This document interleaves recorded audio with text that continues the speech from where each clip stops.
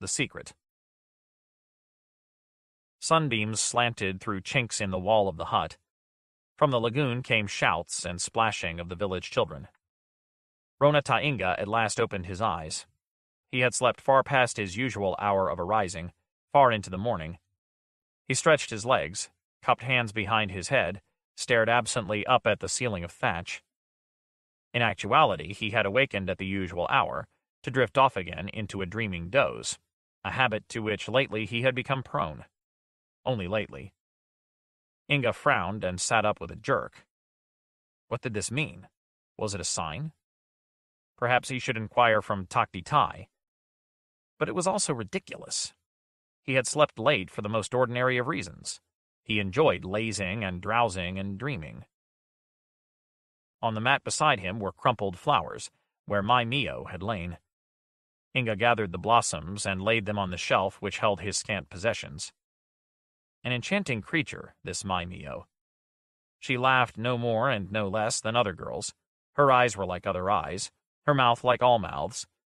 But her quaint and charming mannerisms made her absolutely unique, the single Mai Mio in all the universe.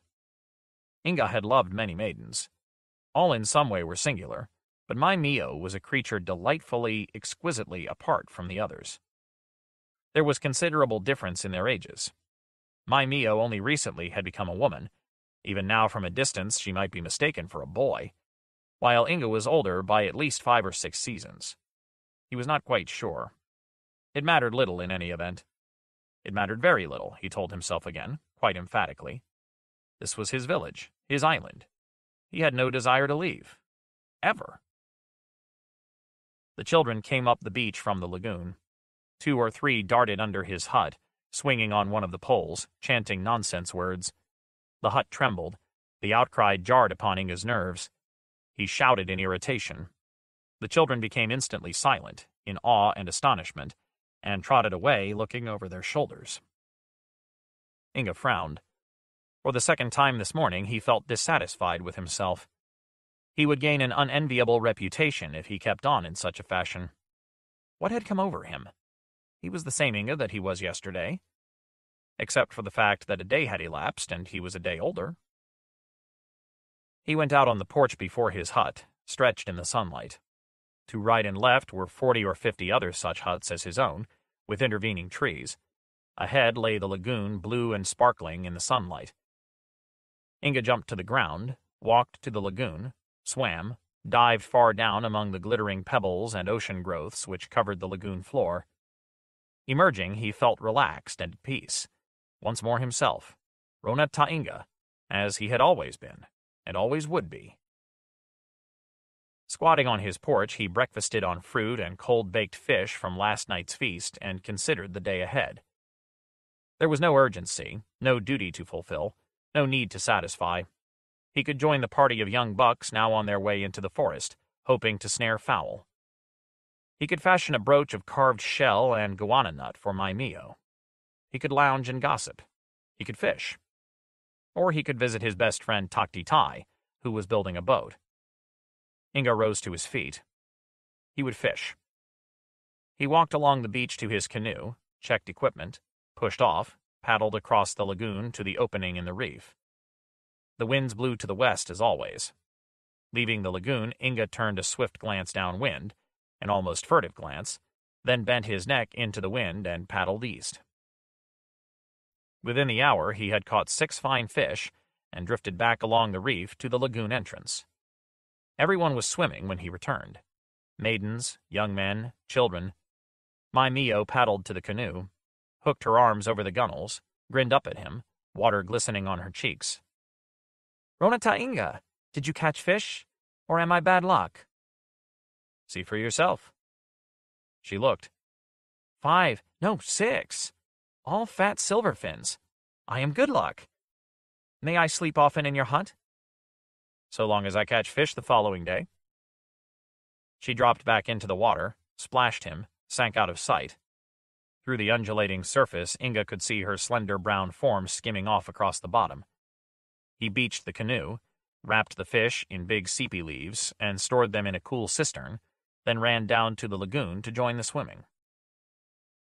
Later, he and Mio sat in the shade, she plaiting a decorative cord of colored bark, which later she would weave into a basket, he leaning back, looking across the water. Artlessly, Mio chattered, of the new song Ama Talalau had composed, of the odd fish she had seen while swimming underwater, of the change which had come over Takti Tai since he had started building his boat. Inga made an absent-minded sound, but said nothing. We have formed a band, Maimio confided. There are six of us, Ipa, Tuiti, Halisai Iano, Zoma, Oyungo, and myself. We have pledged never to leave the island. Never, never, never. There is too much joy here. Never will we sail west. Never. Whatever the secret, we do not wish to know. Inga smiled, a rather wistful smile.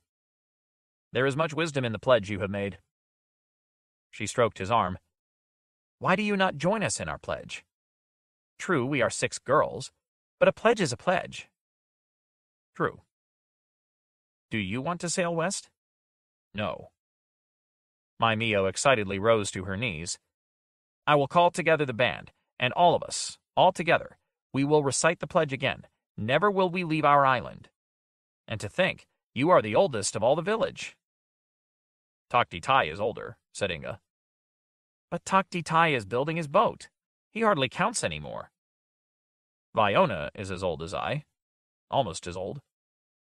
Do you know something? Whenever Viona goes out to fish, he always looks to the west. He wonders. Everyone wonders. Not I. Mai Mio jumped to her feet. Not I. Not any of the band. Never, never, never, never will we leave the island. We have pledged ourselves. She reached down, patted Inga's cheek, ran off to where a group of her friends were sharing a basket of fruit.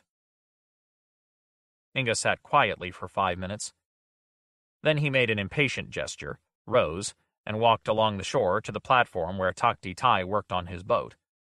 This was a catamaran with a broad deck, a shelter of woven withe thatched with sepi leaf, a stout mast. In silence, Inga helped Takti Tai shape the mast, scraping a tall, well-seasoned Pasiao Tui sapling with sharp shells. Inga presently paused, laid aside the shell. He said, Long ago there were four of us. You, me, Akara, and Zan. Remember? Takti Tai continued to scrape. Of course I remember. One night we sat on the beach around a fire. The four of us. Remember? Takti Tai nodded. We pledged never to leave the island. We swore never to weaken. We spilled blood to seal the pact. Never would we sail west. I remember. Now you sail, said Inga. I will be the last of the group. Takti Tai paused in his scraping, looked at Inga, as if he would speak, then bent once more over the mast. Inga presently returned up the beach to his hut, where, squatting on the porch, he carved at the brooch for Mai Mio. A youth came to sit beside him.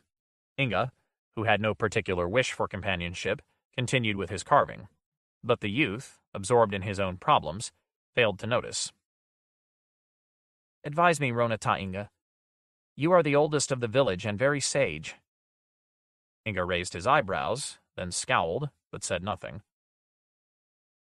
I love Holly Sayano. I long for her desperately, but she laughs at me and runs off to throw her arms about the neck of Hopu. What should I do? The situation is quite simple, said Inga. She prefers Hopu. You need merely select another girl. What of Talau Io? She is pretty and affectionate, and seems to like you. The youth vented a sigh. Very well. I will do as you suggest. After all, one girl is much like another. He departed, unaware of the sardonic look Inga directed at his back. He asked himself, why do they come to me for advice? I am only two or three, or at most four or five seasons their senior. It is as if they think me the fount and source of all sagacity. During the evening, a baby was born. The mother was Ome Ni Io, who for almost a season had slept in Inga's hut. Since it was a boy child, she named it Inga Ta Ome. There was a naming ceremony at which Inga presided. The singing and dancing lasted until late, and if it were not for the fact that the child was his own, with his name, Inga would have crept off early to his hut. He had attended many naming ceremonies. A week later, Takti Tai sailed west, and there was a ceremony of a different sort. Everyone came to the beach to touch the hull of the boat and bless it with water. Tears ran freely down all cheeks, including Takti Tai's. For the last time he looked around the lagoon, into the faces of those he would be leaving. Then he turned, signaled. The young men pushed the boat away from the beach, then jumping into the water, towed it across the lagoon, guided it out into the ocean. Takti Tai cut brails, tightened halyards. The big square sail billowed in the wind. The boat surged west.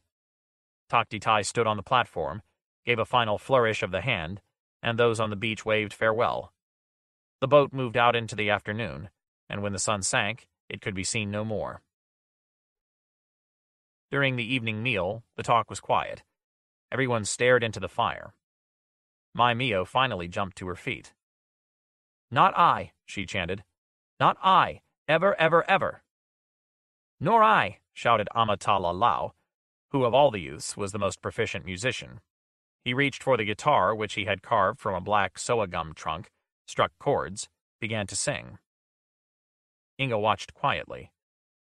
He was now the oldest on the island, and it seemed as if the others were treating him with a new respect. Ridiculous. What nonsense. So little older was he that it made no difference whatever. But he noticed that Mai Mio was laughing attentive to Amata Amatalalau, who responded to the flirtation with great gallantry. Inga watched with a heavy feeling around the heart, and presently went off to his hut. That night, for the first time in weeks, Mai Mio did not sleep beside him. No matter, Inga told himself. One girl is much like another. The following day, he wandered up the beach to the platform where Takti Tai had built his boat. The area was clean and tidy, and tools were hung carefully in a nearby shed. In the forest beyond grew fine macara trees, from which the staunchest hulls were fashioned. Inga turned away. He took his canoe out to catch fish, and leaving the lagoon, looked to the west. There was nothing to see but empty horizon, precisely like the horizon to east, to north, and to south, except that the western horizon concealed the secret. The rest of the day he felt uneasy. During the evening meal, he looked from face to face. None were the faces of his dear friends. They all had built their boats and had sailed. His friends had departed. His friends knew the secret. The next morning, without making a conscious decision, Inga sharpened the tools and felled two fine macara trees. He was not precisely building a boat so he assured himself. But it did no harm for wood to season. Nevertheless, the following day he trimmed the trees, cut the trunks to length, and the next day assembled all the young men to help carry the trunks to the platform. No one seemed surprised. Everyone knew that Rona Tainga was building his boat. Mai Mio had now frankly taken up with Amata Lalau, and as Inga worked on his boat, he watched them play in the water, not without a lump of bitterness in his throat. Yes, he told himself. It would be pleasure indeed to join his true friends, the youths and maidens he had known since he dropped his milk name, whom he had sported with, who now were departed, and for whom he felt an aching loneliness. Diligently he hollowed the hulls, burning, scraping, chiseling. Then the platform was secured, the little shelter woven and thatched to protect him from rain. He scraped a mast from a flawless Pasiautui sapling, stepped and stayed it. He gathered bast, wove a coarse but sturdy sail, hung it to stretch and season. Then he began to provision the boat. He gathered nut meats, dried fruit, smoked fish wrapped in sepi leaf. He filled blowfish bladders with water.